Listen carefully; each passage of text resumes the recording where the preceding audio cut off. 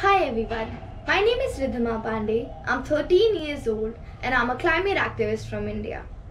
I came into activism after witnessing a very devastating flash flood in my own home state, Uttarakhand.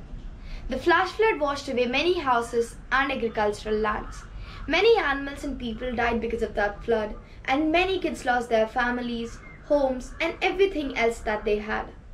I took my first action by filing a petition against the Government of India in 2017. And in 2019, I, along with 15 other child petitioners, including Greta Thunberg, filed a complaint at United Nations under Child Right Committee to protect the child rights. I believe that children are the primary victim of climate change impacts, but have no say in decision making. Through activism, we can also make our opinions and concerns heard. Therefore, MockCop is an excellent platform to discuss and share ideas, knowledge, and diverse com- common solutions and strategies to deal with the global problem of climate change. As youth activists across the globe assemble together for this program, we will also get to learn more about the different national perspectives, challenges, and priorities. It will give us a great opportunity to demand more actions from our world leaders on climate crisis because in the very end we youth are going to be the one facing all the consequences of the decision taken today. MockCop is also a very good opportunity to lend a voice to the common concerns of the global youth on the ineffectiveness of current system and the way forward. In my country, India, the government does not take climate crisis and environment as a first priority and are destroying it by giving forest clearances to many projects in the sake of development without even thinking about how it is going to affect us and the local people living there in long term. And the best example for this can be the Char Dham project proposed at Uttarakhand.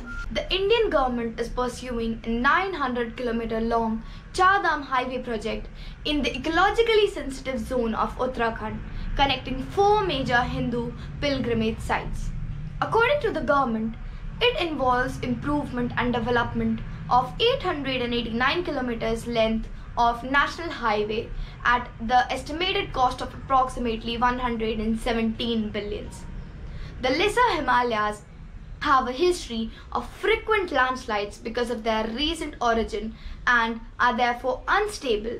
And in such an ecologically sensitive area, the center decided to launch a project to improve road connectivity.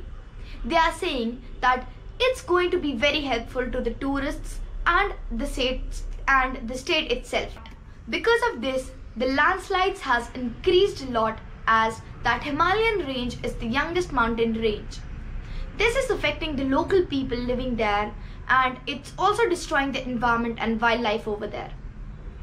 It would be a good idea to also acknowledge that while we may be on track with regards of attaining 2 out of 3 climate targets, we are very far from achieving our target regarding the increasing carbon sinks. I am very hopeful that we youth will be able to bring common, easy, and effective solutions to tackle climate change all over the world and would show the world leaders that if they include young minds into decision makings, then we can solve any problem as big as climate crisis. Thank you.